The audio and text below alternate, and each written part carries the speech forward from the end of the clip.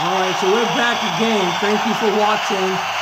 Those of you that are joining in today, it is Tuesday, and we have it going on at the highlight football game between the Titans and the Browns. This is their first encounter with each other this year.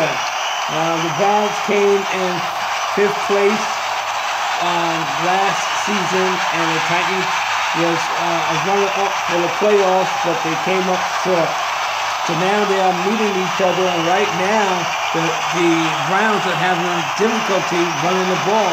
They have tried different running plays to try to get past this uh, Titan defense, but it's been difficult. Let's take it down to the field. Uh, I-formation, tailback with the ball. Boom, boom, boom. He's hit there, and there may be a fumble hit there by the defensive tackle. Um, what a hit, and there might be a fumble there as he was hit immediately as he um, received the ball. Be right back with the results of the fumble.